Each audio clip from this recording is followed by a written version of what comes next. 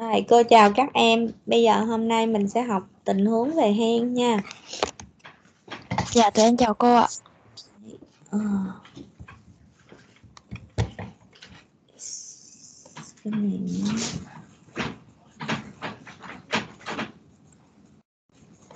Rồi.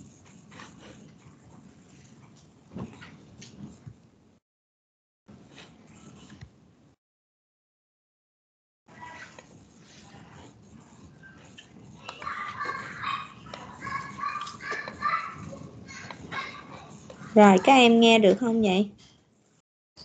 Dạ, tụi em nghe rõ rồi cô. Rồi, rõ rồi ha. Rồi, bây giờ bắt đầu. À, một bệnh nhân nữ 46 tuổi, nghề nghiệp là giáo viên. Lý do nhập viện là khó thở. Bệnh sử, sáng ngày nhập viện, bệnh nhân hắt xì hơi liên tục do thay đổi thời tiết. Sau đó chảy mũi trong nè, khò khè, khó thở, có thở trội thì thở ra. À, bắt đầu nặng ngực, ho khan, không sốt. Khó thở ngày càng tăng. Nhân xịt Ventolin 4 nhát không giảm nên nhập viện. Tiền căn là có tiền căn viêm mũi dị ứng 20 năm nay ha. Tiền căn hen từ nhỏ, điều trị không thường xuyên. Chỉ dùng Ventolin khi khó thở. Rồi trong 4 tuần qua bệnh nhân có 2 đến 3 lần lên cơn khó thở tương tự vào ban ngày. À, trong một tuần ha, hai ba lần một tuần á. Thỉnh thoảng thức giấc ban đêm vì khó thở, tự xịt Ventolin để cắt cơn, rồi vẫn đi làm và sinh hoạt bình thường sau cơn. Tiền căn gia đình là có con gái chị gái bị hen, có chồng hút thuốc lá nửa gói một ngày trong 20 năm hiện vẫn còn hút, không nuôi chó mèo, không tiếp xúc khí độc hại. Khám thì ghi nhận là bệnh nhân tỉnh nè, tiếp xúc tốt, BMI 30.5, niêm hồng không phù, khó thở phải ngồi, thở co kéo có hấp phụ, nói chuyện ngắt quãng từng câu ngắn.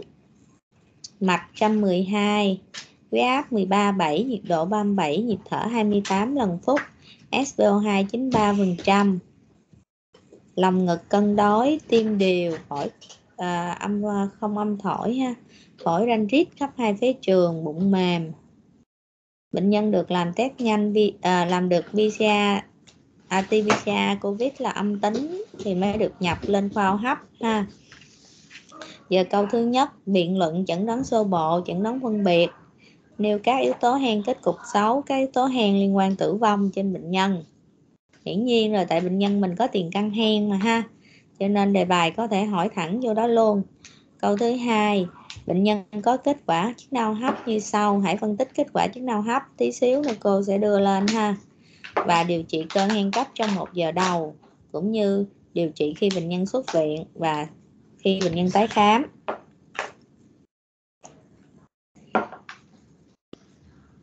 Rồi bây giờ các em ờ, chụp lại cái tình huống lâm sàng. Xong bây giờ cô mời một bạn sẽ biện luận cho cô ca này coi, giống biện luận bữa cô biện luận sô đê vậy đó.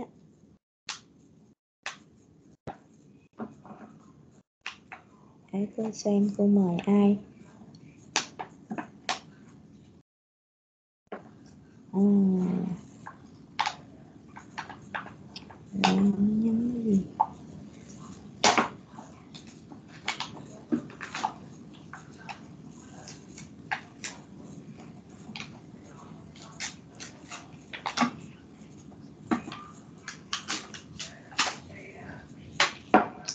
Đây lại bệnh sử nha. Rồi, bây giờ cô mời Lê Minh Phương đi. Dạ alo, dạ, tôi có nghe không rõ không cô?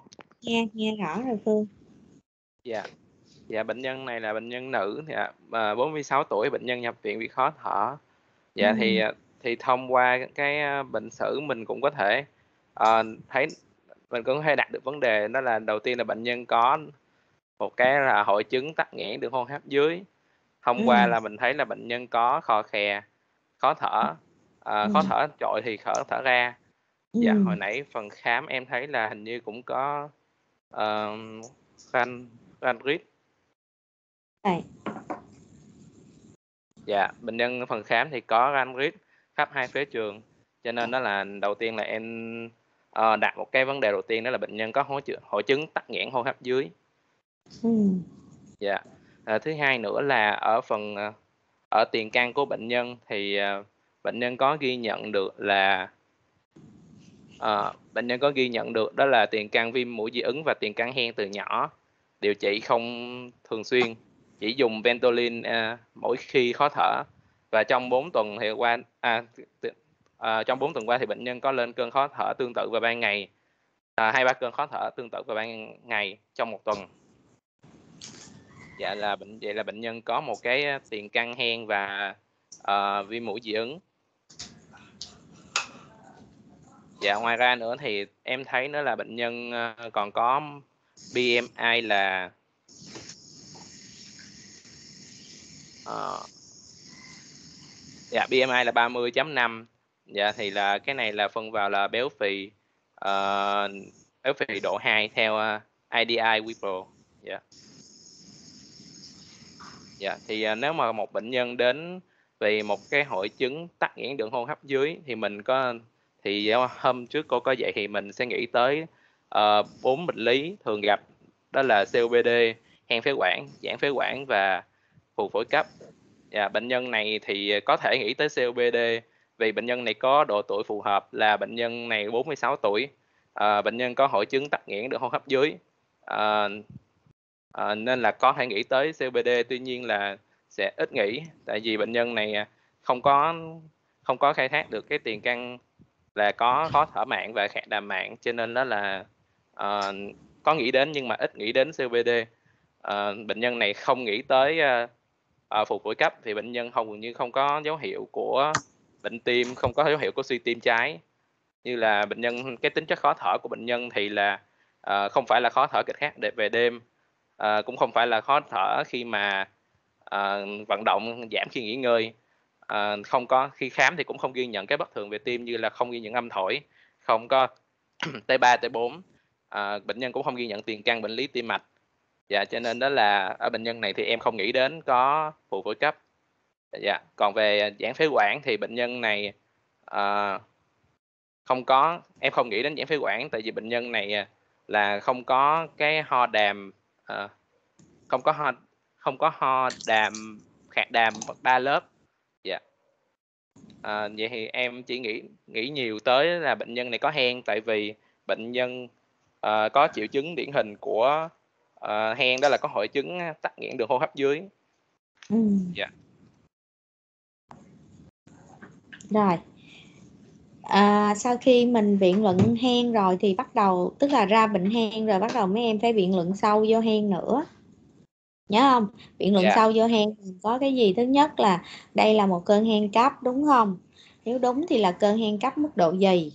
Có biến chứng gì hay không? Rồi trên cái nền là bệnh nhân hen như thế nào? Kiểm soát như thế nào? Đó có yếu tố nguy cơ hen kết cục xấu có yếu tố nguy cơ hen liên quan tử vong hay không rồi đâu bây giờ để cô mời bạn nửa phương biện luận đầy đủ rồi đó nha. Cô cảm ơn bạn ha.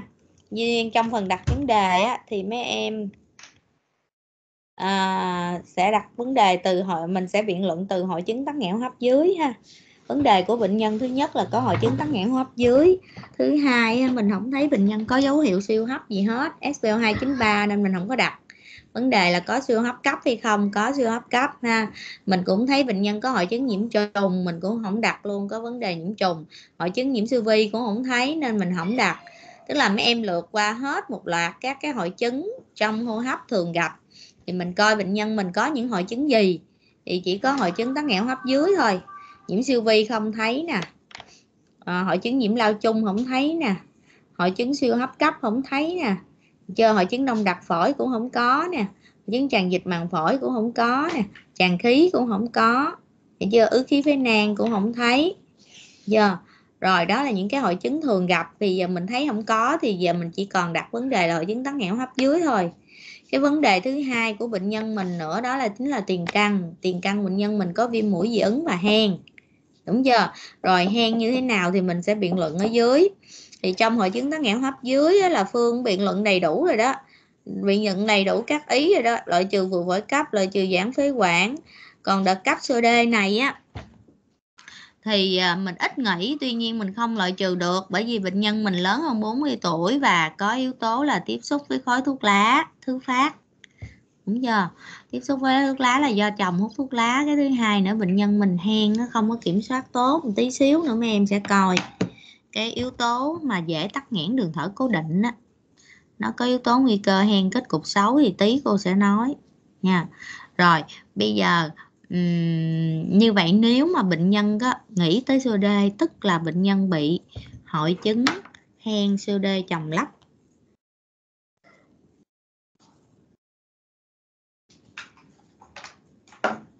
Hội chứng hen COD chồng lấp tức là bệnh nhân bệnh nhân đã có cái hen từ nhỏ rồi hen từ nhiều năm nay rồi.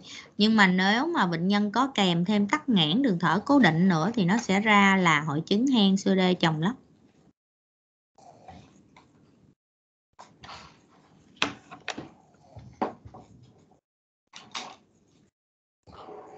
chưa?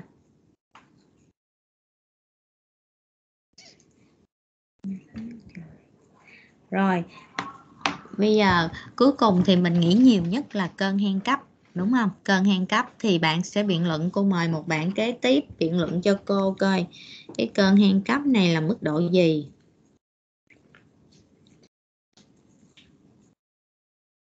Đâu rồi phương chỉ cho cô một bạn đi, phương.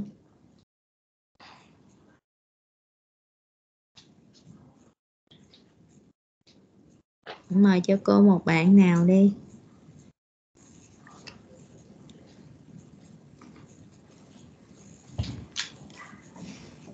Không dám mời luôn hả Vương? Dạ. Thì em cũng không biết mời hả? Không biết mời ai nữa trời ơi. Không biết mời ai hả? Nhóm trưởng không biết mời ai. Vậy là cô bắt nhóm trưởng nói nữa đó nha.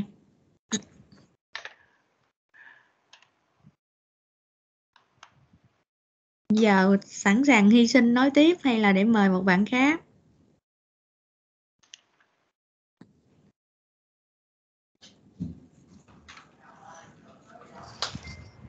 cô ơi để em nói giúp bạn nha cô. Ừ bạn nào vậy? À, dạ em tú uyên đây cô. Tú uyên hả? À lớp c đúng không? Dạ dạ. Trời ơi cái lớp này sao được mấy bạn nhóm trưởng tốt quá vậy ta? Rồi dạ. bây giờ nói à, tiếp cho cô nghe coi quen à, dạ biện luận cho cô. à, ừ. dạ về mức độ hen thì à, à đầu tiên là à, bệnh nhân này là à, nói chuyện ngắt quãng từng câu ngắn ừ. à, và à, bệnh nhân không có à, dấu hiệu suy hô hấp vì là bệnh nhân là à, nhịp thở là nhịp thở là bệnh nhân nhịp thở bệnh nhân là 28 lần một phút và là bé hơn 30 lần một phút và SpO2 là 93% là bé hơn 90%. Um, nhịp à, mạch của bệnh nhân là bé hơn uh, 120 lần một phút. Ờ, cho nên là em bệnh bệnh nhân này là không có à, mức độ bệnh nhân là không có nặng nên em và em xếp bệnh nhân vào là mức độ trung bình ạ. Ừ. Rồi như vậy là ca này là hen cơn hen cấp mức độ trung bình đúng không? theo như dạ. bạn biện luận vậy rồi giờ quyên mời thêm bạn nữa biện luận cho cô cái nền hen của bệnh nhân là hen kiểm soát như thế nào um, à, dạ em mời bạn uh, bạn khoa đi cô. Bạn trương tấn khoa lớp b ạ. Lớp khoa lớp d rồi. Dạ chào cô. Ừ. Dạ. rồi cô chiếu lại bệnh sử cho coi nè. Đó. Dạ, nhờ mức độ kiểm soát hen. Ừ. dạ ở bệnh nhân này thì trong 4 tuần qua thì bệnh nhân có 2 đến 3 lần lên cơn khó thở tương tự vào ừ. ban ngày trong một tuần thì uh, ừ. nên là em nghĩ là bệnh nhân này có lớn hơn hai lần một tuần nên uh, ngoài ra thì uh, um, ngoài ra thì uh, nên là em nghĩ bệnh nhân này thuộc dạng là là kiểm soát được một phần cô và bệnh nhân này còn tỉnh tản thức thức giấc vào ban đêm vì khó thở tức là nó có cái cơn khó thở này nó ảnh hưởng đến giấc ngủ ừ. dạ bệnh nhân có một đến hai yếu tố nên là ừ. còn cái việc uh, sử dụng Ventolin của bệnh nhân thì bệnh nhân uh, chỉ uh, sử dụng không thường xuyên và chỉ dùng Ventolin mỗi khi mà bệnh nhân có khó thở. Ừ. Dạ. À, thì em nghĩ là bệnh nhân này có lớn hơn ba yếu tố của kiểm soát một phần nên là bệnh nhân này là hen không kiểm soát được. Rồi như vậy là tóm lại là bạn nghĩ là hen không kiểm soát đúng không? Có bạn nào bổ Dạ. sung không?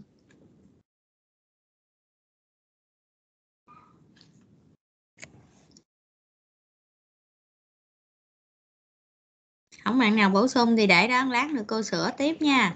Rồi bây giờ có bạn nào thấy bệnh nhân có yếu tố nào hen kết cục xấu không?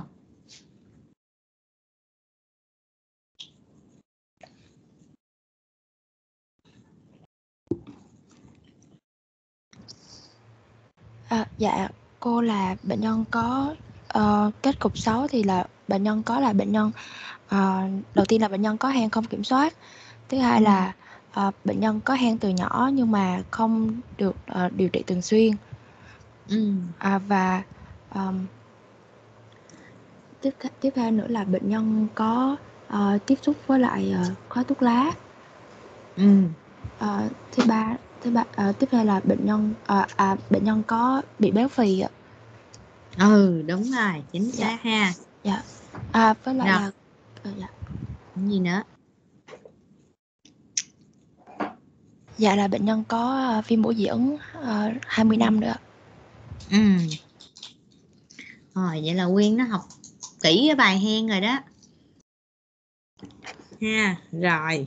Bây giờ như vậy á để các bạn cùng học á thì mình sẽ ôm lại nha, mình ôm lại một tí. Hồi nãy giờ các bạn nói đúng hết rồi đó ha.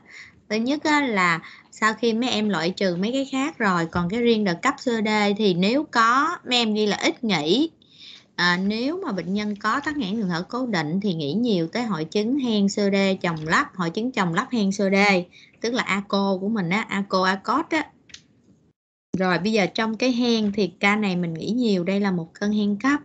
Vì bệnh nhân có một cái khó thở cấp tính. Ừ. khó thở cấp tính là buộc bệnh nhân phải nhập viện. Đó, thì mình gọi đây là một cơn hen cấp. Cơn hen cấp thì sao? Cơn hen cấp thì mình coi mức độ gì? Đó. mức độ gì thì mấy em sẽ dựa vô. Đây dựa vô cái bảng này không? Người ta chia cơn hen nè, đầu tiên mình coi có đúng là hen hay không thì tí nữa cô sẽ nói nè. Cái hen này có liên quan tử vong hay không? Cái thứ ba, mình đánh giá độ nặng của cơn hen cấp. Bây giờ cơn hen cấp người ta chia làm nhẹ trung bình và nặng hoặc là đe dọa tính mạng. Rồi, nhẹ trung bình thì mấy em sẽ thấy bệnh nhân nói từng cái phrases nè, tức là nói từng những cái cụm từ cụm từ nha. Và bệnh nhân thích ngồi hơn nằm có nghĩa là gì? Khó thở phải ngồi rồi à, không có bị kích ứng không bị kích động à, là không có đến nỗi thiếu oxy đó. Nhịp thở thì có tăng ha. À, không có co kéo cơ hấp phụ. Mạch từ trăm đến trăm hai oxy từ 90 đến 95 và bép là trên 50 thì ở Việt Nam mình không có đo bép thì mấy em lấy các tiêu chuẩn trên. Thì mình nhìn lại bệnh nhân của mình. Dạ, à, tí, tí mình nhìn lại ha giờ mình coi nặng luôn. Nặng là bệnh nhân nói từng từ và phải ngồi cúi người ra trước. Bức rứt ha kích động ha. Nhịp thở trên 30 lần một phút. Thở co kéo cơ hấp phụ. À, nhịp à, mạch là trên 120 và oxy dưới 90 còn đe dọa tính mạng á. Đe dọa tính mạng là gì? Là bệnh nhân có thể lơ mơ lú lẫn hoặc là lòng ngực im lặng tức là mấy em không nghe được âm với bào gì hết. Không nghe được âm phế bào gì hết, mấy em đặt cái ống nghe vô, nghe không có đang ngáy riết gì hết trên tưởng đâu nhẹ. Nhưng bệnh nhân chuẩn bị tím tái luôn rồi đó. À. thì như vậy là mức độ đe dọa tính mạng. Thì nhìn lại bệnh nhân của mình là mình thấy bệnh nhân mình đề tài mô tả là nói từng cụm từ nè. Khó thở phải ngồi nè không? Nhịp thở của bệnh nhân mình là bao nhiêu? Nhịp thở 28 lần phút nè mạch từ 100 đến 120 nè, tức là nó nằm trong cái khoảng mức độ trung bình SPO2 còn trên 90 phần trăm. Như vậy mình chẩn đoán đây là một cơn hen mức độ trung bình. Được chưa? Rồi, trên nền hen như thế nào á, thì mấy em sẽ xem lại thứ nhất, có đúng là bệnh nhân mình bị hen hay không? Thì cái cơn hen nó được định nghĩa là gì? Là nó có một cái bệnh sử về các triệu chứng hô hấp thay đổi và triệu chứng điển hình đó là khò khè khó thở nặng ngực và ho được chưa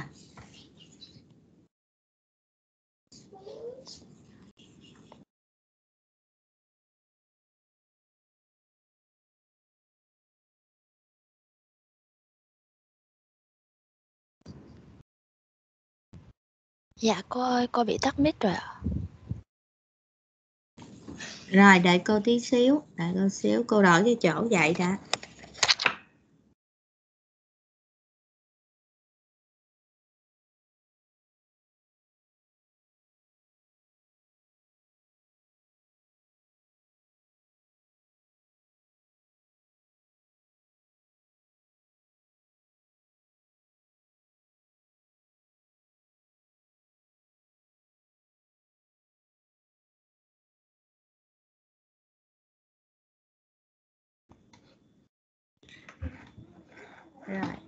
Thì à, đúng ra đầu tiên mấy em phải coi bệnh nhân có cái tiêu chuẩn là hen trước hay không. Nhưng mà tại vì theo thứ tự mình ghi cái chẩn đoán á, thì mình sẽ ghi cái cơn hen gì trước xong rồi mới tới nền hen như thế nào. Đó. thì bây giờ ôm lại thứ nhất là mấy em muốn nói bệnh nhân có hen hay không thì mấy em phải coi cái tiêu chuẩn về triệu chứng cơ năng trước. Thì phải có những cái bệnh sử về các cái triệu chứng hô hấp thay đổi và điển hình nó là khò khè khó thở nặng ngực và ho được chưa? Bệnh nhân mà hen á, thì thường có nhiều hơn một các cái triệu chứng này. À, tức là bệnh nhân sẽ có từ hai cái trở lên. Một là ho nặng ngực thường gặp nhất là ho với nặng ngực được chưa? Rồi cái thứ hai là các cái triệu chứng này á, là nó xuất hiện nó thay đổi về thời gian và nó thay đổi về cường độ có nghĩa là sao? Có nghĩa là khi mà à, bệnh nhân có lúc á, thì bệnh nhân vô cơn rất là nặng có lúc thì vô cơn nhẹ và ngoài cơn thì khỏe mạnh bình thường. Thì người ta gọi là thay đổi rất là nhiều về cường độ và thời gian nó khác với lại sơ đê. Sơ đê là ổng sẽ có một cái nền khó thở là MRC của mình á. Lâu lâu ổng vô đợt cấp thì ổng tăng cái khó thở lên hơn. Mấy em hiểu không? Lâu lâu đợt cấp thì tăng khó thở lên hơn.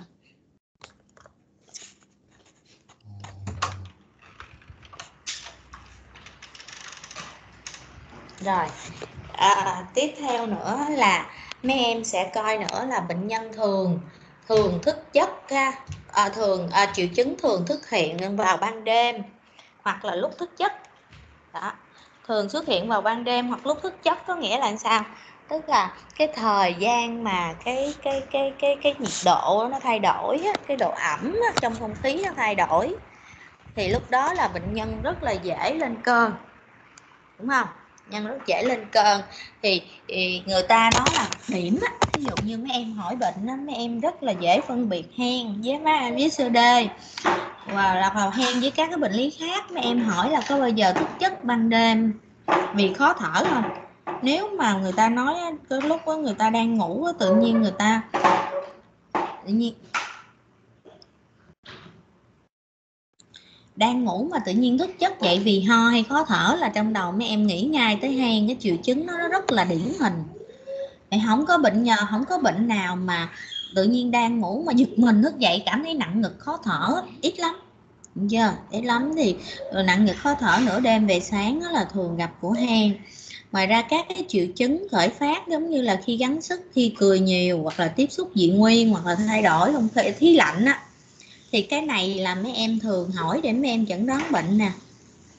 Giống như cái ca này của mình đó là khi thay đổi thời tiết là tự nhiên ắt xì liên tục rồi nó khởi phát cơn hen đó là cái bệnh cảnh rất là điển hình của mấy bệnh nhân hen rồi gì nữa là triệu chứng xuất hiện á, và nặng hơn khi nhiễm siêu vi. Thì cái này nó giống với sơ đê sơ đê cũng vậy hãy nhiễm siêu vi là nó dễ vô đợt cấp. Cái này mình không phân biệt được nhưng mà mấy em sẽ phân biệt được là một cái là tiếp xúc với dị nguyên không khí lạnh hoặc là nửa đêm về sáng. Đó. Rồi, sau khi mấy em thấy một cái bệnh sử nó điển hình của hen rồi, cái mấy em cho bệnh nhân đi đo chức năng hấp. Đo chức năng hấp thì người ta cho mình hai cái tiêu chuẩn ha. Hai cái tiêu chuẩn. Thứ nhất là ít nhất trong cái quá trình mấy em chẩn đoán, mấy em thấy được cái FEV1 thấp. FV1 thấp là được định nghĩa là dưới 80% nha, người bình thường mình là FV1 trên 80% so với dự đoán ví dụ như bệnh nhân mình có một lần đo, mình thấy FV1 có 60 70 thôi là mấy em nghi ngờ liền. Và cái tỷ lệ FV1 trên FVC nó thấp. Nó thấp hơn cái giới hạn dưới bình thường. Có nghĩa là L là L, N ở trong cái tờ chức năng hấp của mình á, là ví dụ như không phải là dưới 0.7 nha.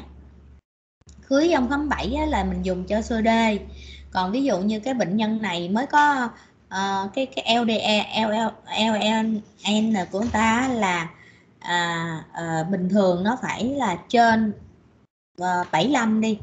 Mà cái ca này tự nhiên nó là 74 ở là nó vẫn trên 0.7 nhưng mà nó dưới cái cái giới hạn dưới bình thường. Thì lúc đó mấy em vẫn có nghĩ là người ta có tắc nghẽn được chưa? Rồi kế tiếp nữa là cái tiêu chuẩn này là mình thường sử dụng trên lâm sàng nè là FE1 nó tăng trên 200 ml và 12% so với cái nền so với cái trước test á. Đó. thì mình được gọi là gì? Test giãn phế quản có đáp ứng hay là có hồi phục? Ừ. hoặc là mấy em dùng cái bếp nếu bệnh nhân không có chứng đau hấp thì mấy em co dao động bếp sáng chiều lớn hơn 10%, hoặc là mấy em làm gì? Mấy em coi FEV1 nó cải thiện 12% 200 ml so với nền và sau 4 tuần điều trị. À. sau 4 tuần điều trị. À, kháng viêm. À, sở dĩ nó có cái này là do cái gì? Nó có cái này á, là do một số bệnh nhân đó mấy em mấy em đo cái chức năng hấp ngay lúc đó bằng cái băng tulin mấy em xịt á. Nó chưa có kịp đáp ứng nghe em hiểu không? Tức là cái hen này đó đường thở nó bị viêm mãn tính lâu ngày giống như cái ca của bệnh nhân mình đi chẳng hạn. Rồi chỉ xịt pantolin khi khó thở thôi thì cái quá trình viêm nó vẫn kéo dài một thời gian nhiều năm nay rồi. Giờ mình nghĩ nhiều tới hen rồi nhưng mà mình đem bệnh nhân mình cho đi đo chức nào hấp á thì cái chức nào hấp nó không có cải thiện đủ 12 phần trăm với 200 ml đó, nhưng mà lâm sàng mấy em vẫn nghĩ hen thì mấy em cứ cho bệnh nhân điều trị như hen đi 4 tuần sau tức là điều trị như hen là mấy em cho xịt kháng viêm, đúng không? Tức là anti inflammation nè, điều trị nè. Mấy em cho xịt kháng viêm xong 4 tuần sau, mấy em đo lại, mấy em lấy cái FEV1 sau 4 tuần điều trị á. Mấy em trừ cho FEV1 trước 4 tuần đó, mà nó cũng cải thiện 12 về phần trăm và 200 ml luôn á, thì mấy em vẫn nói đây là một ca hen hiểu chưa? Đó, là cái tiêu chuẩn chẩn đoán hen như vậy muốn chẩn đoán hen mấy em phải có tiêu chuẩn về lâm sàng. Thứ hai là tiêu chuẩn về chức năng hấp. À, rồi. Kế tiếp sau khi mấy em thấy đúng là cái bệnh nền bệnh nhân là đúng hen rồi thì mấy em mới coi mức độ kiểm soát hen giống như nãy bạn nói đó. Bạn nói là trong 4 tuần qua như vậy rất là dễ khi mấy em thấy cái đề bài là có cái chữ trong vòng 4 tuần qua là mấy em biết đề bài này đang muốn nói tới hen rồi. Nha còn nếu mấy em thấy đề bài nói là trong vòng một năm qua là mấy em biết ngay là đề bài muốn nói về sơ đê là mấy em phải chẩn đoán theo cái hướng sơ đê. À, còn đề bài cho trong vòng 4 tuần qua là mấy em phải chẩn đoán hen rồi 4 tuần qua thì mình thấy gì? Triệu chứng ban ngày nó hơn hai lần một tuần. Thì bệnh nhân mình có nè ba hai đến ba lần một tuần có.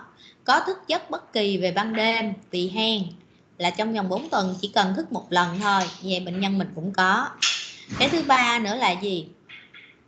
Có lớn hơn hai lần sử dụng SAPA tức là bệnh nhân mình cứ dùng Vantolin mỗi khi khó thở mà một tuần người ta có hơn hai lần khó thở rồi.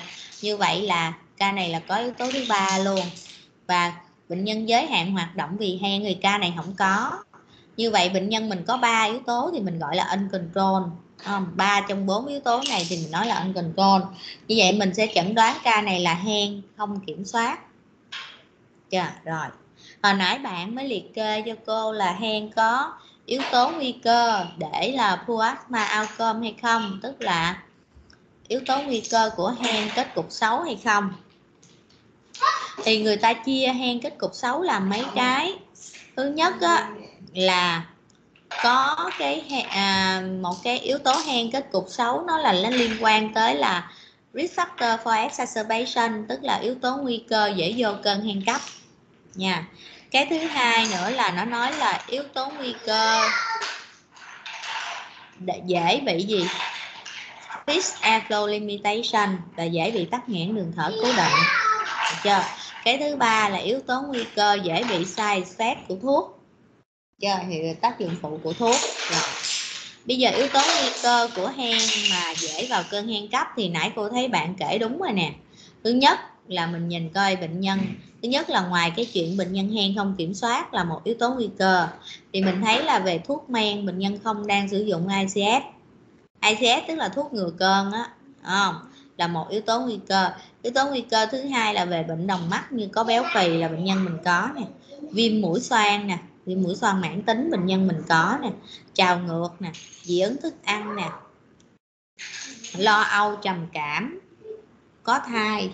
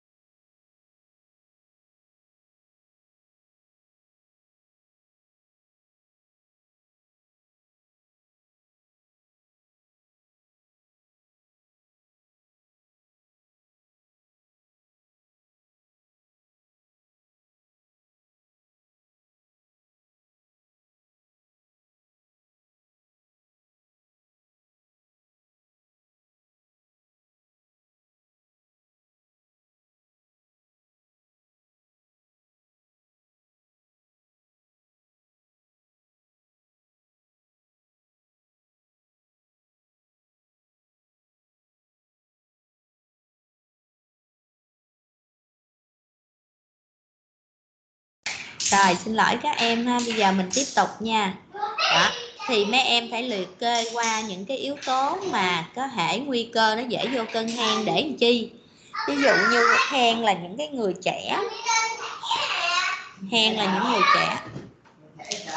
À tôi xin lỗi tới nhà cô nó ồn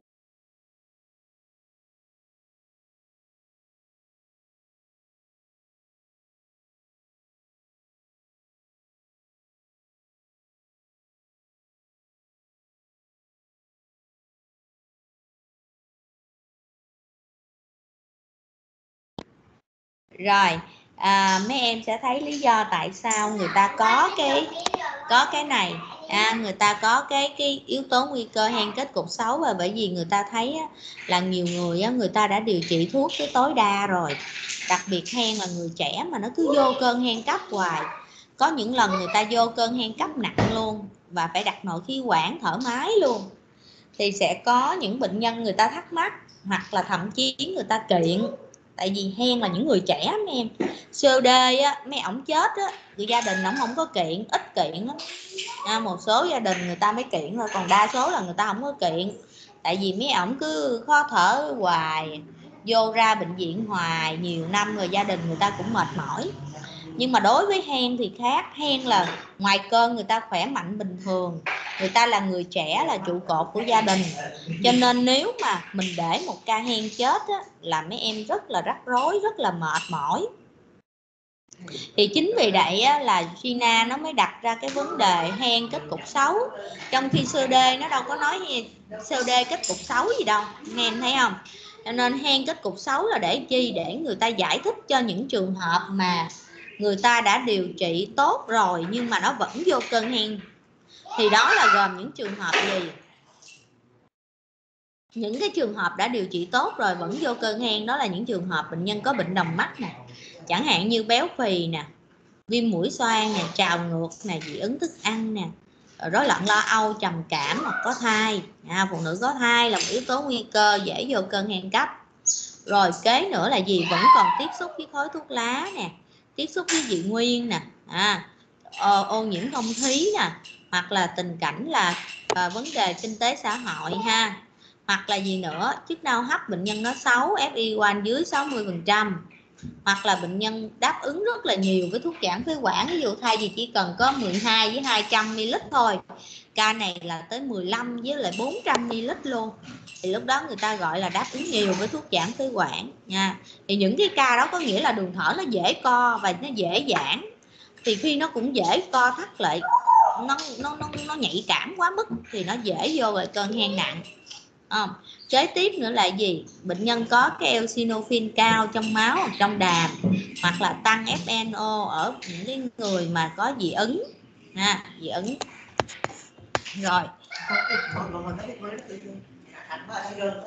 không con ồn quá không đi lên được chưa? Rồi một cái yếu tố mà dễ dễ à, dễ vào cơn hen cấp nữa đó, là gì? Là bệnh nhân đã có tiền căn là đặt nội khí quản rồi. Nha, bệnh nhân có tiền căn, đặt nội khí quản.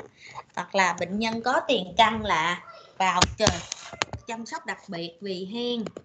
Hoặc là bệnh nhân có hơn một lần cơn hen nặng trong vòng 12 tháng qua. Thì mình nhìn lại bệnh nhân của mình có nè. Thứ nhất là thuốc không được kê nè thuốc ICS thứ hai béo phì viêm mũi xoang nè. Thứ ba tiếp xúc khói thuốc lá nè ha rồi. Về cái yếu tố hen mà có thể nó bị vô sơ đê á, tức là hội chứng hen sơ đê chồng lấp á là cái đường thở nó tắc nghẽn cố định luôn nó không có hồi phục á. Thì mấy em sẽ thấy là gặp ở những cái người mà họ xanh nhẹ cân nè ha xanh non ha hoặc là tăng cân nhanh lúc còn nhỏ không sử dụng ICS hoặc là tiếp xúc khói thuốc lá, hóa chất độc hại hoặc là cái nghề nghiệp. FI1 thấp, tăng tiết đàm mãn tính giống như viêm phế quản mãn vậy đó. Hoặc là có bạch cầu eosinophil nó tăng trong máu hoặc là trong đàm. Rồi, như vậy nhìn lại bệnh nhân mình cũng có yếu tố là không sử dụng ICS nè, cũng còn tiếp xúc khói thuốc lá nè. Chưa? Rồi bây giờ yếu tố nguy cơ dễ bị tác dụng phụ của thuốc. Thì đối với những bệnh nhân mà đang sử dụng OCS tức là corticoid đường uống thường xuyên. Giống như cứ mỗi lần lên cơn là lấy corti ra uống uống có hai, ba ngày cái khỏe, không thèm sùng thuốc xịt, nha. Hoặc là những cái người sử dụng thuốc xịt mà liều cao. Đó. Rồi, hoặc là những cái người mà dùng liều cao ICS hoặc là kỹ thuật không có đúng thì những cái ca này là có nguy cơ nó dễ bị tác dụng phụ của corticoid. Rồi. Đó, thì mình ờ, khi mà mấy em chẩn đoán hen á là mấy em nhớ cho khôn mấy em phải nói.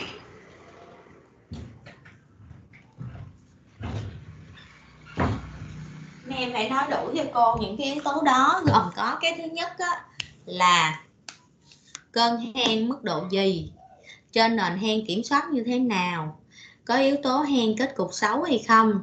Kết cục xấu thì nó có ba cái kết cục xấu. Thứ nhất là dễ dễ vô cơn hen cấp. Thứ hai là dễ bị tắc nghẽn đường thở cố định. Thứ ba là dễ tác dụng phụ của thuốc. Đó. rồi sau đó mình mới xem bệnh nhân có yếu tố hen liên quan tử vong hay không. Đó. thì mấy em sẽ học cái này. Yếu tố hen liên quan tử vong nó là gì?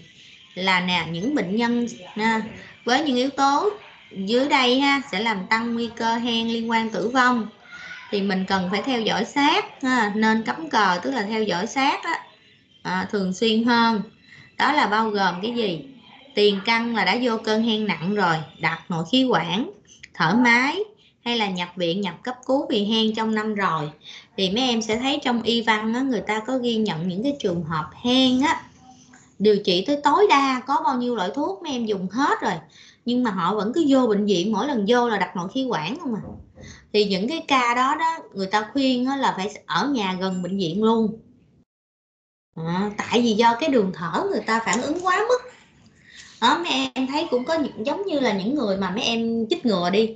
Mấy em đi chích ngừa đi thì có người chích ngừa đâu có bị gì. Có người chích ngừa thì bị sốt quá chừng luôn rất là mệt mỏi còn thậm chí có người là vừa rút cái mũi kim ra là đã ngưng thở rồi. Thì đó là do cái phản ứng của từng người. Thì người ta khuyến cáo là đối với những cái cơn hen mà nó luôn luôn vô cơn hen nặng á, thì người ta khuyến cáo là phải nhà ở gần bệnh viện luôn có gì chạy vô đặt nội khí quản cho kịp. Đó. Rồi cái thứ hai nữa là gì? Là những bệnh nhân mà không đang sử dụng ICS giống như bệnh nhân của mình á hoặc là kém tuân thủ với ICS hoặc là đang sử dụng hoặc là gần đây ngưng OCS tức là người ta ý muốn nói là một cái biến cố nặng gần đây, tức là một cái độ nặng gần đây. Là sao? Tức là bệnh nhân mình đang dùng corticoid đường uống được chưa mà nó vô cơn hen như vậy là cơn hen này nặng à. Đang uống corti mà còn vô cơn hen rồi, hoặc là gần đây mới ngưng corticoid uống, tức là bệnh nhân mệt, bệnh nhân uống corticoid xong khỏe khỏe ngưng cái nó mệt trở lại như vậy chứng tỏ cơn hen này là cái hen này là nó có thể bị lệ thuộc corticoid. Được chưa? Rồi, hoặc là bệnh nhân dùng quá nhiều sa ba thành ra chính vì vậy á, có những cái trung tâm, có những cái bệnh viện lớn nhưng mà vẫn không được cấp cái thuốc ngừa cơn. Mà trong danh mục nó chỉ có cái thuốc cắt cơn là Vantulin thôi. Tức là mình đang tiếp tay làm sai. Mấy em hiểu không? Tại sao? Mấy em chỉ dùng có một mình Vantulin nó bệnh nhân sẽ rất thích mấy em phát cho bệnh nhân chai Vantulin là về, người ta mệt. Hoặc là người ta mới vừa đi chợ, về ta mệt, ta lấy ta xịt hai nhát khỏe liền, khoái quá. Hoặc là mấy em chơi thể thao, chơi xong, lên cơn mệt quá mệt quá, lấy chai ra xịt hai nhát khỏe liền. Thích quá, đâu cần phải dùng thuốc gì đâu. Cho nên chỉ cần một chai Vantolin là đủ. Nhưng mà mấy em phải hiểu cái cơ chế của bệnh hen là nó không có phải chỉ có co thắt đường thở không, mà nó còn là sau khi nó bị phản ứng như vậy, nó còn cái quá trình viêm đó. Nếu mà mấy em cứ xịt Vantolin xịt Vantolin hay là mấy em chỉ uống salbutamol à, mấy em thấy nhiều bác sĩ bây giờ còn cho hen cứ cho salbutamol uống á. Uống cái lúc nào đường thở nó cũng giãn giãn giãn ra vậy. Nhưng mà cái quá trình viêm nó vẫn tiếp tục. Đó cho đến lúc nào đó cái viêm nó nhiều rồi nó hẹp nặng nó phù nề rồi. Đó thì lúc đó mấy em xịt Vantolin vô nó cũng không đáp ứng được nữa là bệnh nhân vô cơn hen nặng cơn hen ác tính luôn là không có cứu được cho nên á, là từ lâu lâu lắm rồi từ khi Gina nó ra từ những cái thời kỳ đầu của Gina là nó đã nhấn mạnh nó highlight lên nó là nó chống chỉ định dùng cái giãn phế quản tác dụng ngắn đường uống cho bệnh nhân hèn. Đường toàn thân á. Mấy cái sanbutamol mà cho bệnh nhân uống á, là bác sĩ đó là sai hoàn toàn sai về cả y đức luôn.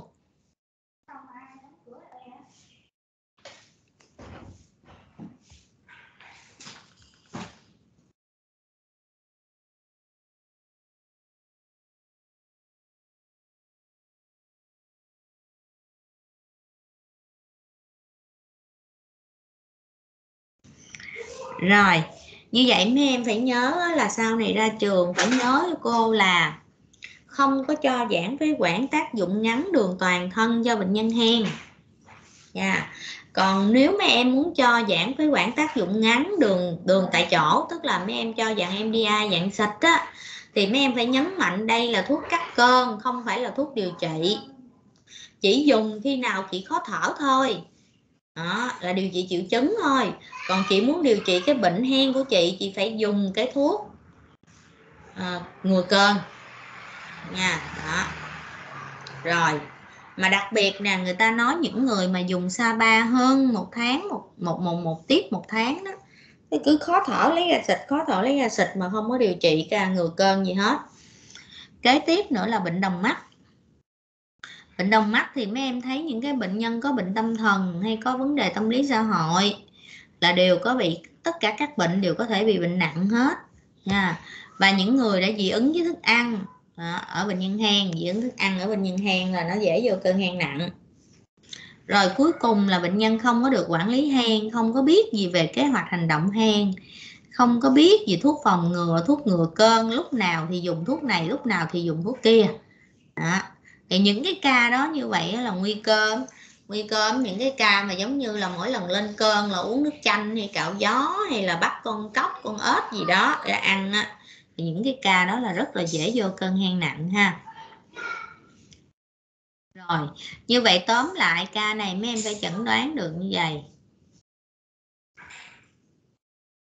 đó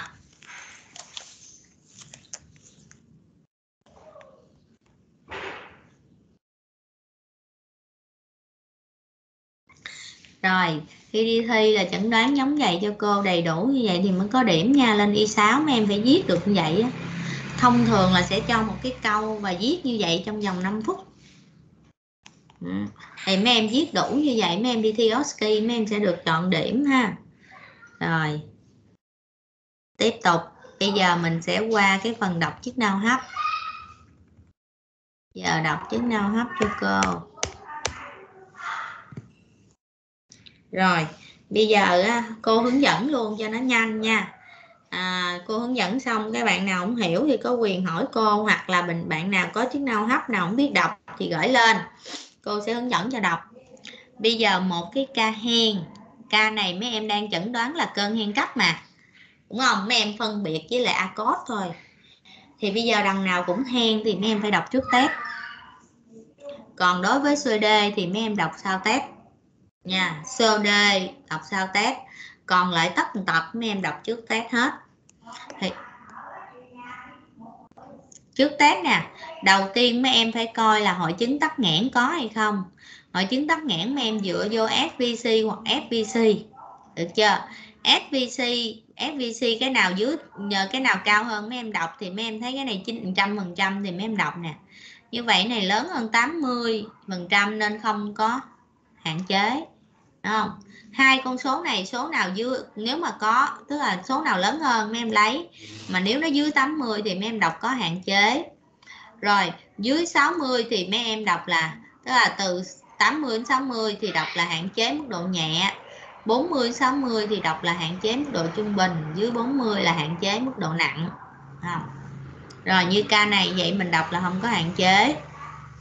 Giờ tắt nghẽn thì mình dựa vô tỷ lệ FP1 trên FPC mấy em phải nhớ là đọc con số phía trước này không đọc con số phía sau. Giờ yeah. đây cái này giải thích rồi hồi học chứng đau hấp cô nói rồi.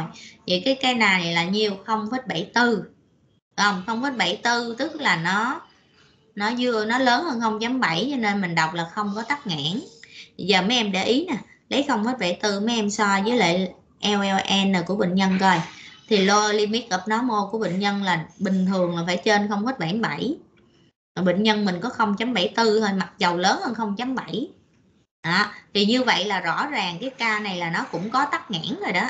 Tức là theo cái cái cái LLN tức là trong hen là mấy em có một cái tiêu chuẩn đó nãy lúc cô chiếu lên đó à, mấy em có quyền nghĩ tới hen rồi không? Nhưng mà mình đọc đơn thuần chức nào hấp thì mình thấy này lớn 0.7 mình nói không tắc nghẽn rồi, không tắc nghẽn thì mấy em không cần phân mức độ nặng nhẹ vừa. Nếu có tắc nghẽn thì mấy em mới nhìn lên FI1 FI1 dưới 80 là nhẹ, dưới 60 là trung bình và dưới 40 là nặng. Ha. Dạ rồi. Rồi như ca này là không tắc nghẽn. Rồi, bây giờ mình coi tới có đáp ứng với thuốc không? Thì mình nhìn nè, trước dùng thuốc bệnh nhân thổi được 2 lít 34 sau dùng thuốc bệnh nhân thổi được 2 lít 69 và máy nó tính cho mình là thay đổi 15 phần trăm. Vậy mình cộng cái này coi, như vậy nó là ba trăm rưỡi ml. Cho lấy 2.69 nè, trừ cho 2.34 là ra 0.35 0.35 có nghĩa là 350 ml. Rồi, như vậy bệnh nhân mình cải thiện là 15% và 350 ml như vậy, nó hơn cái tiêu chuẩn chẩn đoán hen là 12% và 200 ml rồi là phù hợp ha. Sau đó mấy em đọc tiếp cho cô PF 2575 nè. PF 2575 bình thường nó phải trên 60%. Cái này dưới 60% tức là nó có hẹp đường thở nhỏ dưới 2 mm. Và cuối cùng là PEP. PEP bình thường phải lớn hơn 80% thì bệnh nhân mình cũng là được 86% đúng không? Rồi. Như vậy là đọc chức nào hấp đơn giản chưa? Nó có mấy bước thôi hội chứng hạn chế có không? Nếu có thì nhẹ, mức độ nhẹ trung bình nặng. Hội chứng tắc nghẽn có không? Nếu có thì mức độ nhẹ trung bình nặng. Kế tiếp là đáp ứng với thuốc giảm phế quản có hay không? Kế tiếp là PF có lớn hơn 60% hay là dưới 60% PF 2575 á. Và cuối cùng là lưu lượng đỉnh PF không? Được bình thường làm nhiều. Rồi giờ tới phần chức nào hấp có bạn nào thắc mắc gì không?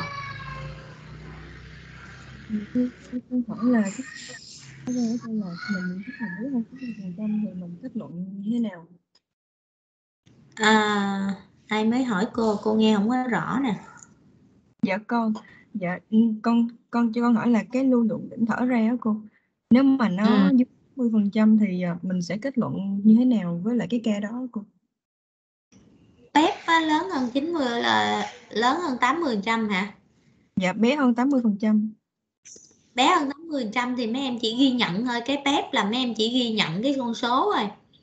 Mục đích mình ghi nhận con số để làm chi? Để mấy em điều trị chứ không có để chẩn đoán gì với cái bếp hết. Dạ là giống như là để mình theo dõi điều trị thôi để mình theo dõi điều trị thôi rồi, bây giờ xong ha. Còn hai thắc mắc cái gì nữa không? Cái phần chức nào hấp y 4 đọc được hết không? Mấy em đọc được hết không? Các bạn nào đọc không được không? Đi thi chắc chắn có câu đó nha. Một câu khí máu động mạch, một câu chức nào hấp nha. Một câu x quang.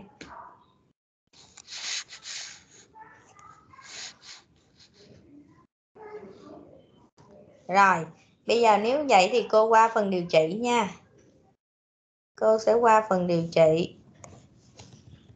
Bây giờ rõ ràng cái chẩn đoán của mình như vậy nè. Mấy em sẽ thấy chẩn đoán của mình. Như vậy mấy em điều trị sẽ gồm có thứ nhất, mấy em điều trị cơn hen cấp. Và thứ hai là mấy em cái xử cái hen không kiểm soát cũng như viêm mũi dị ứng béo phì. Đó là cái nền của bệnh nhân giờ bây giờ điều trị cơn hen cấp mức độ trung bình thì điều trị như sao? Ừ. Đây. Cơn hen cấp mức độ trung bình theo hướng dẫn đây. Có mũi tên xuống em sẽ điều trị là gì? Sa ba 4 đến 10 nhát qua buồng hít. Không. Lặp lại mỗi 20 phút trong một giờ. Rồi prednisolone 40 đến 50 mg à, còn là ở người lớn á rồi và mấy em kiểm soát oxy. Mục đích là giữ oxy từ 93 đến 95 phần trăm. Chưa tức là oxy nó phải trên 93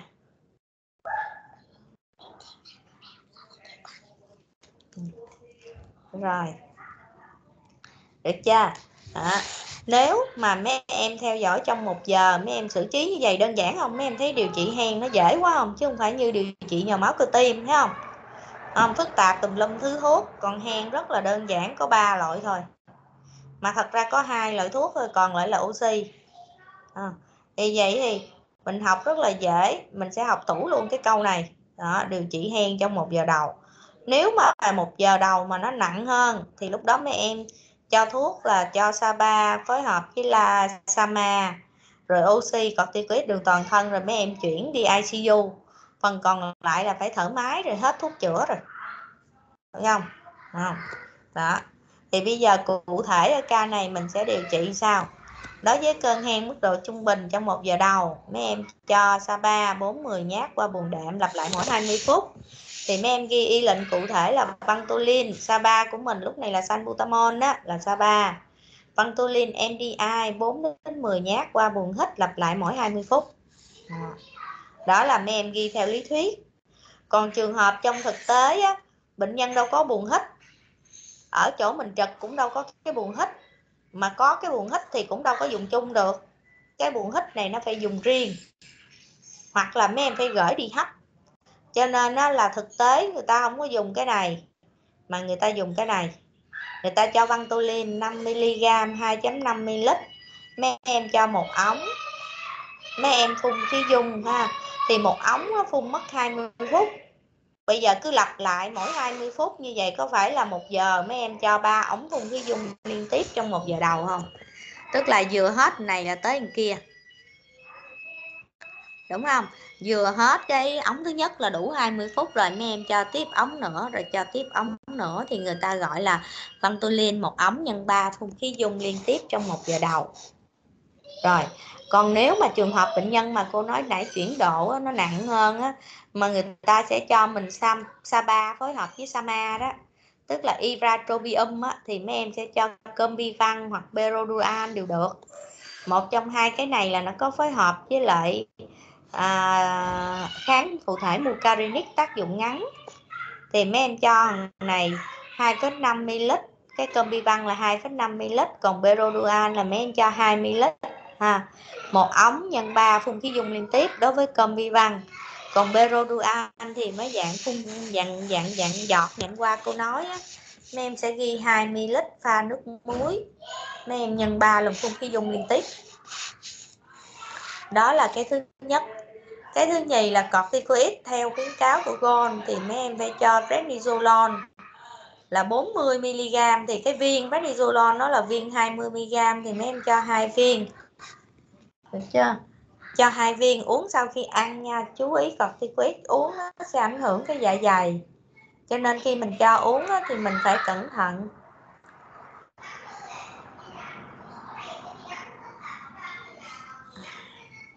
Mình phải cẩn thận ảnh hưởng dạ dày của bệnh nhân. Hoặc là chỗ mấy em không có sulfentrazone uống thì mấy em sẽ cho qua solumeron thuốc chích không thuốc chích thì mấy em cho một lọ 40 mg một lọ tĩnh mạch. Rồi cái thứ ba là mấy em cho thở oxy. Duy trì SPO2 trên 93% và mấy em đánh giá lại sau một giờ, hoặc là sớm hơn nha, nếu bệnh nhân nặng. Đó là điều trị hen cấp trong một giờ đầu. Không. Rồi, tới chỗ này có bạn nào thắc mắc gì không? Dạ cô cho con dạ cô cho con hỏi là cái ờ, cái thở oxy với cô là mình cắm vào cái máy phun khí dung luôn đúng không cô? Để cho mình thở liên tục.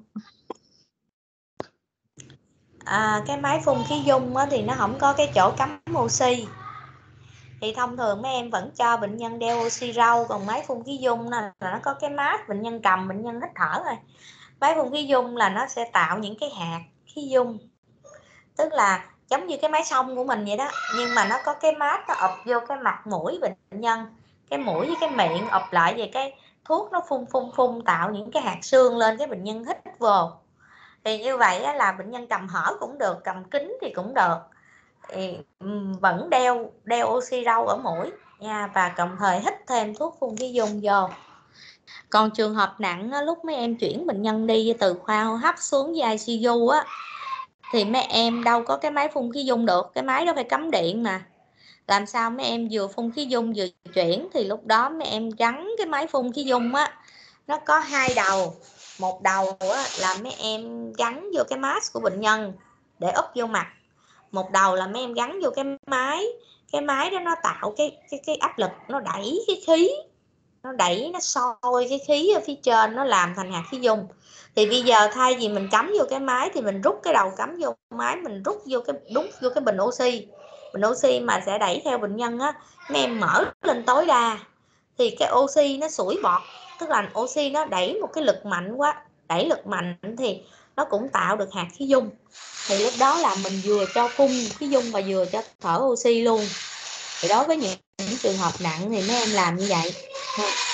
Còn bình thường thì mấy em không cần phải làm như vậy em vừa cho gắn oxy rau mấy em vừa cho bệnh nhân. Đó, mấy em vừa gắn oxy rau mấy em vừa cho bệnh nhân thở phun khí dung luôn cũng được.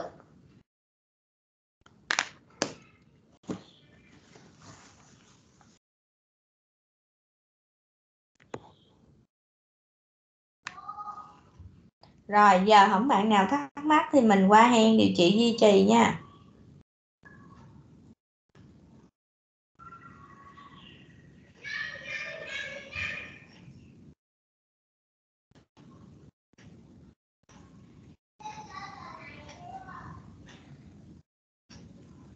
Rồi giờ mình qua hang thì chị duy trì.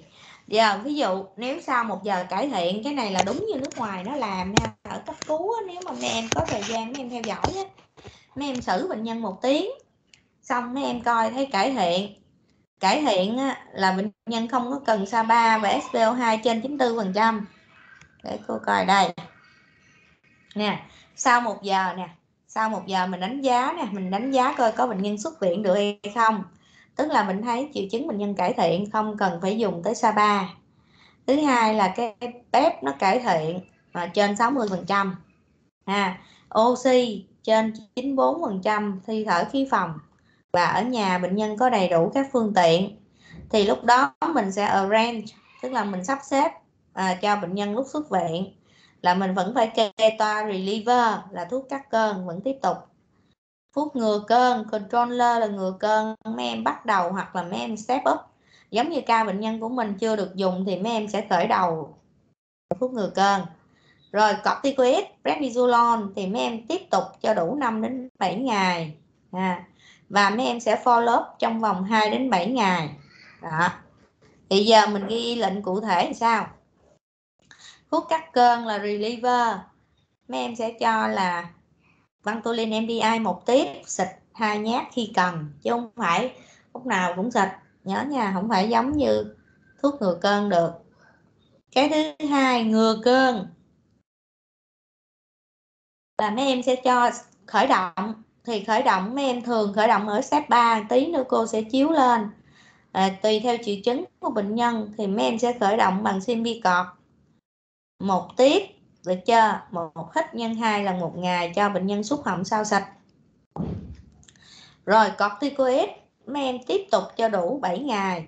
Là mấy em sẽ cho 7 ngày là 14 viên 16 mg thì mấy em cho ngày uống 2 viên. Được chưa? Uống 2 viên sau ăn.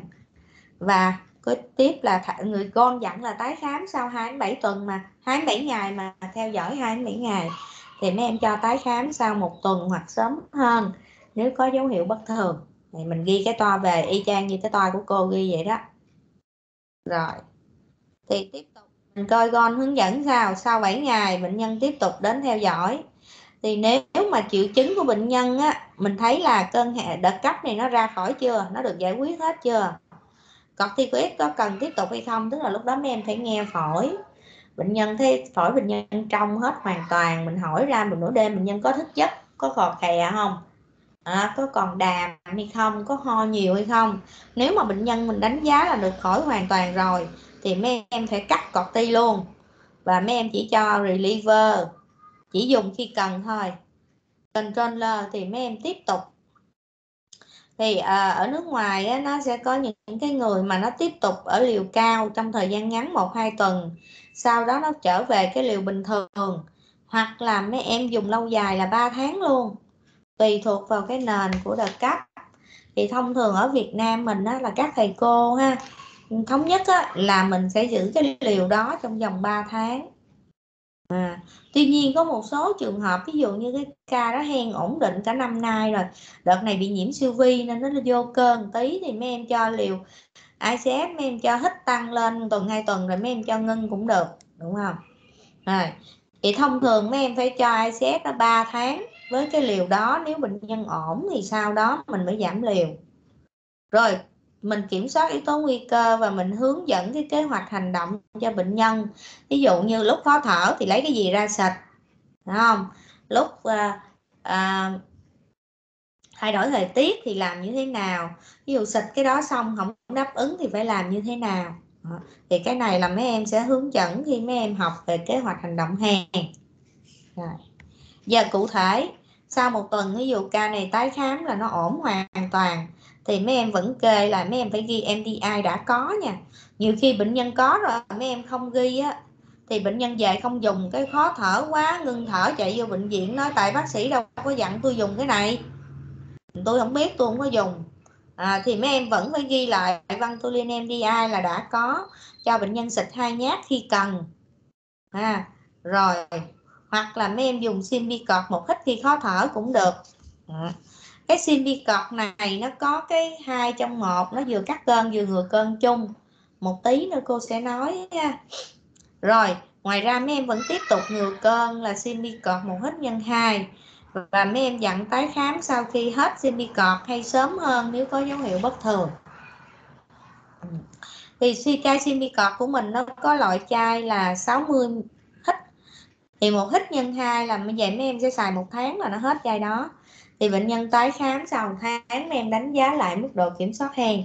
Nếu hen kiểm soát tốt thì mình sẽ có chiến lược tiếp còn không tốt thì mấy em có thể step up. Được chưa? Step up là mấy em lên thang á. Rồi bây giờ qua cái phần điều trị duy trì theo Gina. À, thì mấy em sẽ nhìn thấy nè Gina nó chia điều trị hen thành 5 step là 5 bước. Dạ.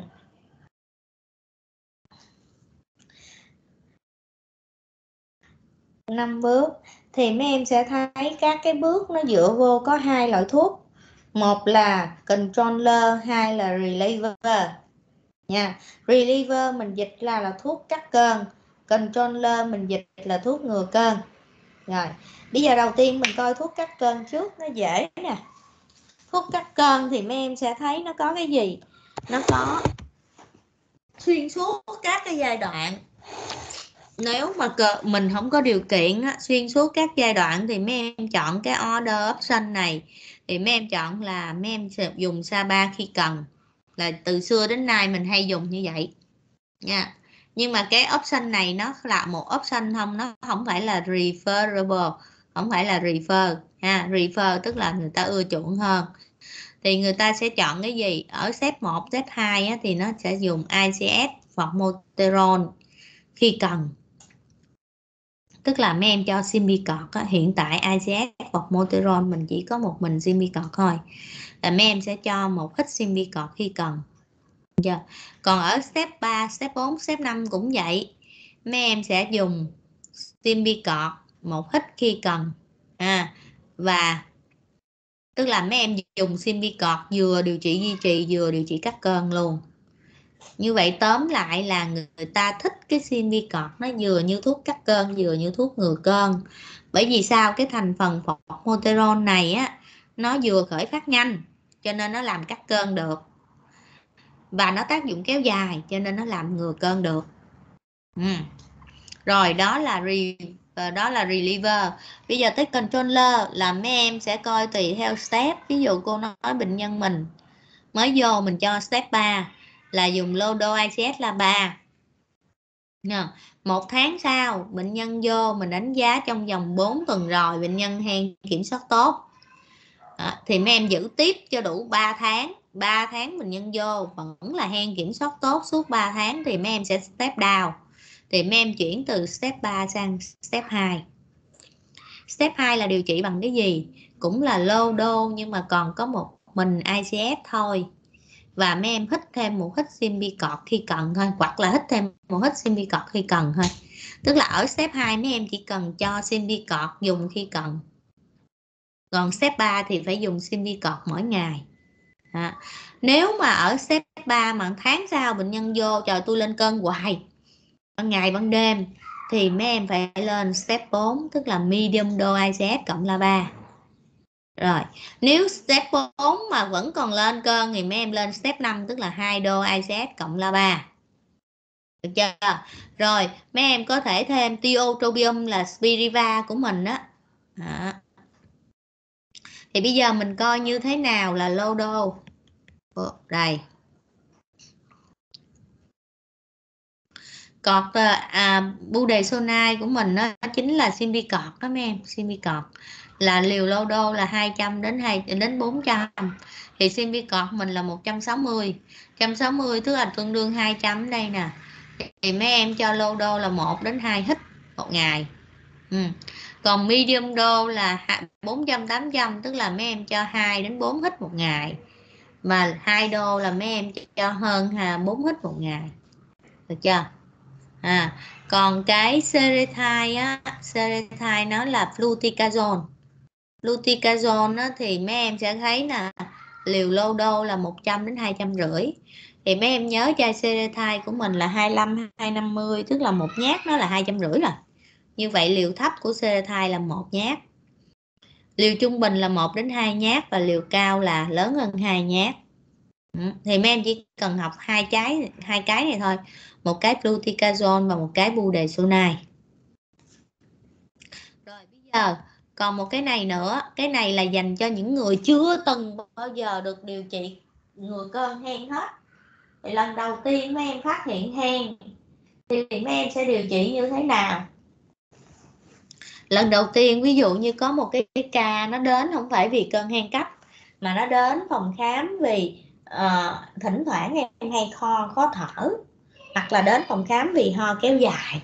Mấy em đo chức nào hấp cái nó ra hèn. Ra hèn cái bắt đầu mấy em phải điều trị mà không cần phải điều trị cơn hen cấp tại này nó đâu vô cơn hen cấp. Thì mấy em chỉ cần cho ngừa cơn và cắt cơn thôi. Thì ngừa cơn lúc đó mấy em sẽ cho cái gì? Mấy em sẽ nhìn vô triệu chứng. Nếu bệnh nhân có triệu chứng ít hơn hai lần một tháng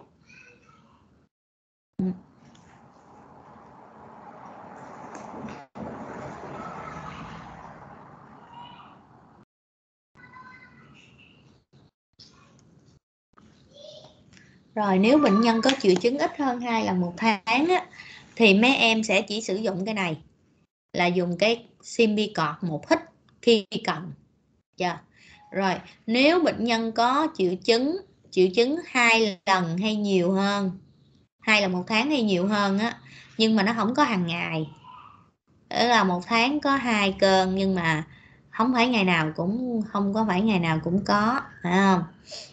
Thì lúc đó mấy em sẽ dùng step 2 tức là một là mấy em chỉ cho plisotide mấy em xịt hàng ngày hoặc là mấy em cho ICS xịt khi cần thôi. À, ICS và Moteron xịt khi cần.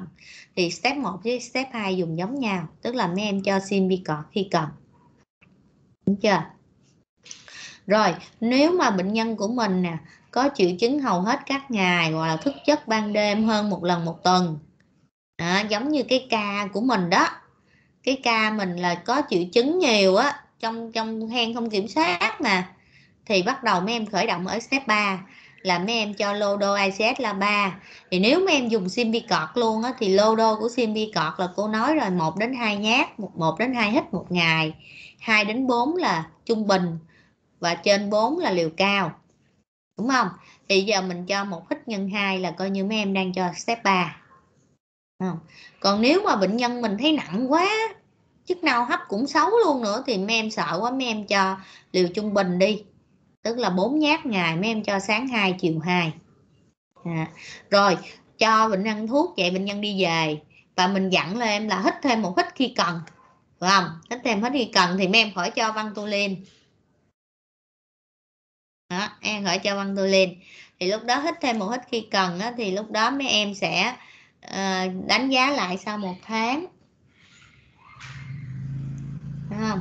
Đánh giá lại sau một tháng thì nếu mà sau một tháng mà hen nó kiểm soát tốt thì mấy em giữ như vậy cho đủ 3 tháng rồi mấy em mới giảm liều. Còn nếu sau một tháng mà nó không có kiểm soát được thì mấy em phải lên thang.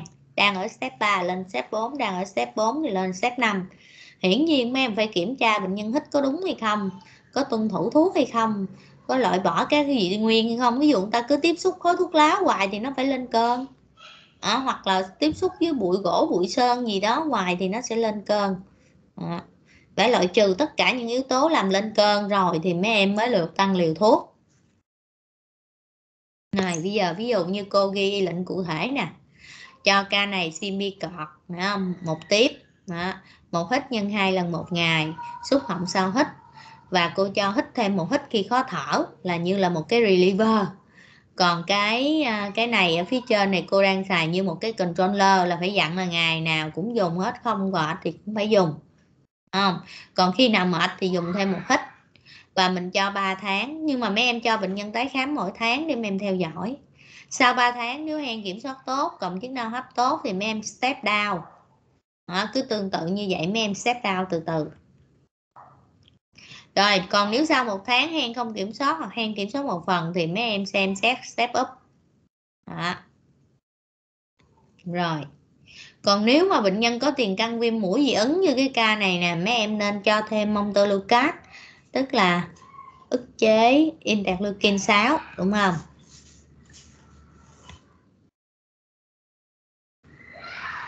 Đó. Như vậy là như vậy là mấy em sẽ thấy là bệnh nhân là à, à, có thể xem xét là mỗi 1 đến 3 tháng ha khi mà mình muốn mình adjust treatment tức là mình điều chỉnh điều trị á thì mấy em sẽ xem xét từ 1 đến 3 tháng sau khi điều trị và mỗi 3 đến 12 tháng sau đó. Nhưng mình không phải ở người có thai nha nếu người có thai là mình phải theo dõi sát mỗi tháng đúng không? Asthma should be reviewed every uh, for uh, six week đối với những phụ nữ có thai đó là mấy em phải kiểm tra sau mỗi 4 4 tuần tức là một tháng á. Sau đợt cấp á, thì mấy em phải theo dõi sau một tuần được chưa? Và nó tùy thuộc vào mức độ của bệnh nhân. Cái này là hướng dẫn step up hồi nãy cô nói rồi không? Còn cái này là hướng dẫn step down. Muốn step down thì mấy em phải achieve và maintenance được 3 tháng rồi tức là mấy em đạt được hang kiểm soát tốt và duy trì được 3 tháng rồi mấy em mới xem xét giảm liều. À, và mỗi lần mấy em step down á, thì mấy em sẽ step down 25 đến 50 phần trăm liều. Mỗi 2 đến 3 tháng mới step down một lần. Đó thì giống như cô nói ví dụ như mình đang xài một hít nhân 2 thì mình giảm xuống còn một hít mình giảm 50 phần trăm ha. Rồi mấy cái này là mấy em kiểm soát các yếu tố nguy cơ. Ngoài ra mình sẽ điều trị không dùng thuốc thì đó giống như mấy em loại trừ, ngưng hút thuốc lá nè tập vật lý trị liệu hô hấp nè. Rồi mấy em xem xét cái nghề nghiệp nè. À, rồi có một số bệnh nhân phải dùng aspirin kéo dài đó vì mấy em coi chừng aspirin nó cũng khởi phát hen. À, trong đó mấy em cũng phải xem xét non xét nó cũng khởi phát hen luôn. À rồi, đây là cái kế hoạch hành động hàng. kế hoạch hành động hàng là gì? Nó sẽ có cái bảng. Không biết cô có để ở đây cho mấy đứa không?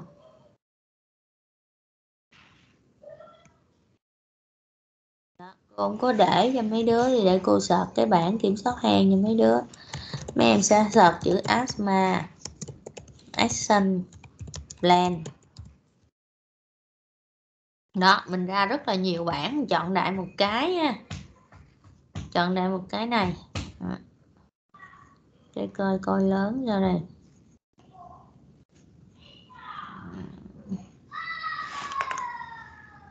Nó không coi lớn được vậy ta.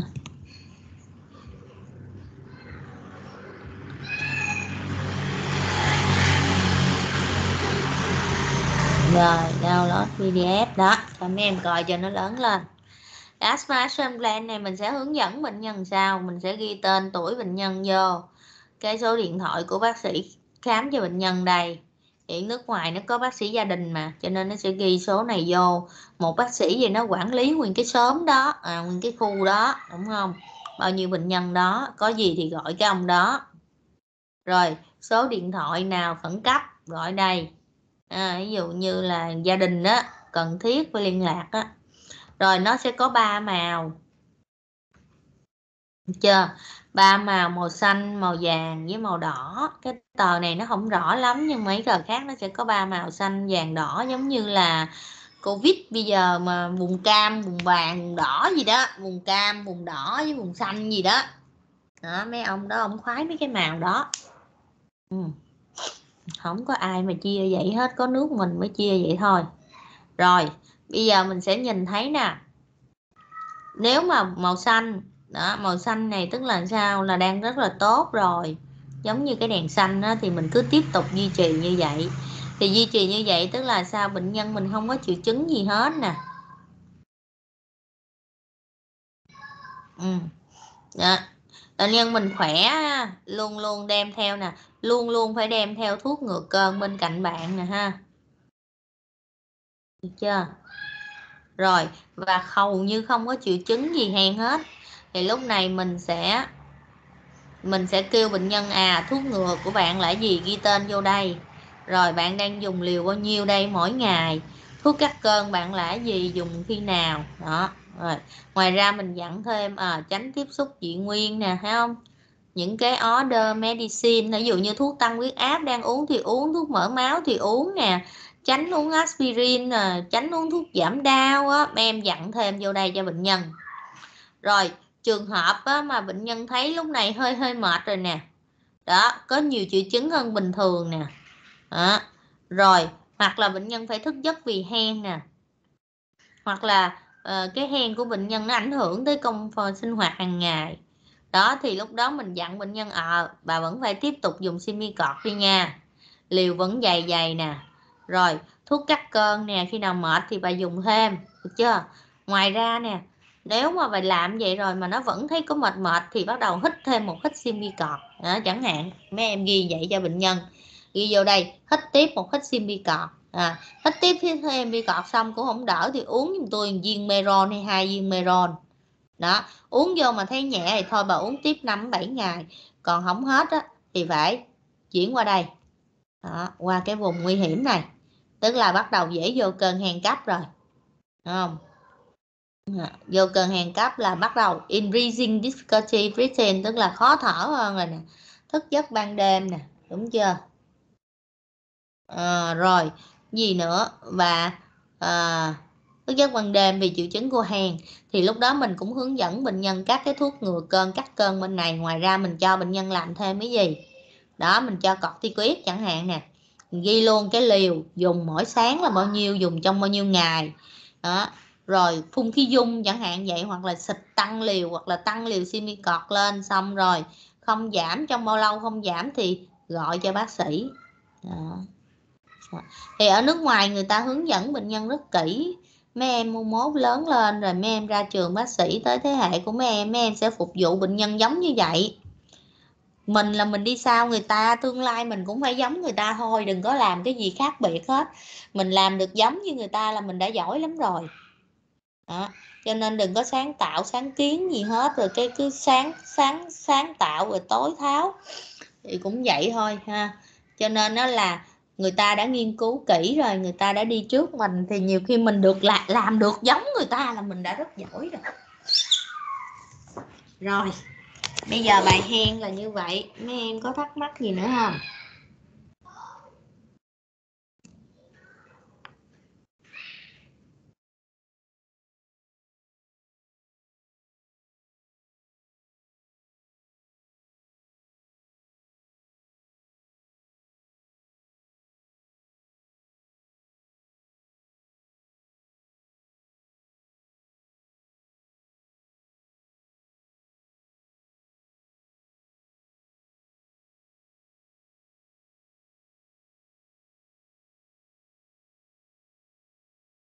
Rồi nếu mà các em không có thắc mắc gì thì à, à mình sẽ mình sẽ nghỉ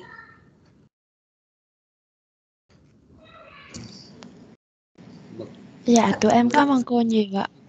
ừ cái bài hen như vậy là hiểu hết rồi ha vậy thì mình nghỉ nha ừ Dạ, tụi em cảm ơn cô nhiều. Tụi em chào cô à, ạ. à, chào chú